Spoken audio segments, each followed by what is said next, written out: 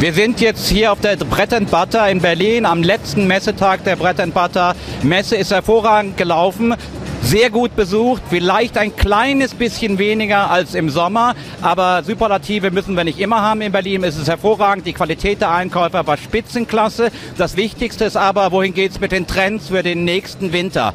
Und da sage ich, sorry, wenn ich so deutlich bin, armer Handel, armer Handel so viel Parkas, wie hier nochmal gezeigt worden, so viel Outdoor-Jacken, die ich auf der Bread Butter gesehen habe.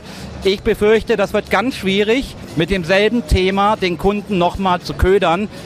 Die Warenlager sind voll mit Parker und Outdoor. Es wird sehr, sehr schwierig, das richtig zu gewichten für den Handel, wie viel Ware er nimmt.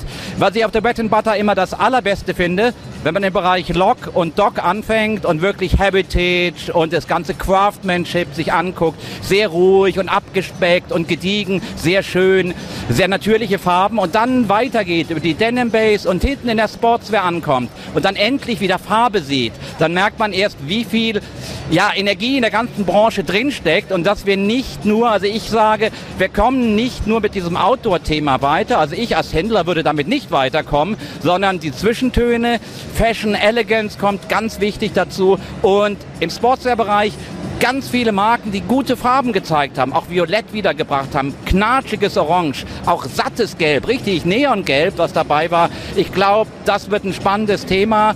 Ich sage, Handel hat schwierig, nicht ganz einfach die Saison. Nur Vintage alleine und dieses Heritage wird es nicht sein. Angezogener wird es werden. Aber ich bin ganz beruhigt mit allen Händlern, die ich gesprochen habe. Die haben gesagt, Mensch, es ist ganz okay. Ich komme ganz gut zurecht mit meinen Ordern.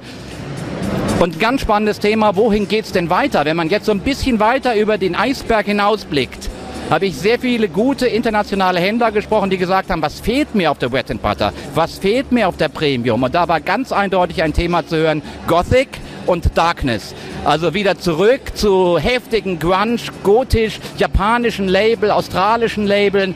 Das wird hier, von was ich so mitgekriegt habe, von den sehr, sehr gut informierten Einzelhändlern vermisst. Berlin bleibt weiterhin spannend und wächst ungemein. Wir haben jetzt ja mit der Show in Order, die sich jetzt langsam am dritten Messetag auch gefangen hat, sehr gute Neuzugänge, auch hohen Niveau. Also auch für wirklich höchst elaborierten Einzelhandel wird Berlin noch interessanter. Die Capsule bleibt weiterhin in Zugpferd. Die Sieg ist weiter größer geworden und bietet hervorragende, spannende neue Label aus der ganzen Welt. Ähm, die Gallery natürlich, Düsseldorf in Berlin. Wir wird schauen, wie sich das weiterentwickelt. Interessant ist es allemal. Und ganz spannend wird es natürlich mit der Panorama für den nächsten Juli.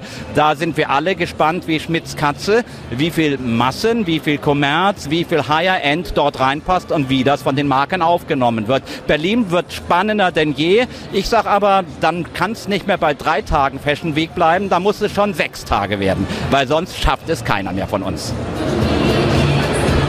Dann haben wir morgen noch die Bride als allerletzten Messetag in Berlin übrig. In diesem Sinne sage ich allen eine gute Saison von Europe Fashion natürlich. Und mein Name ist Martin Wuttke von der Agentur Next Corona aus Berlin.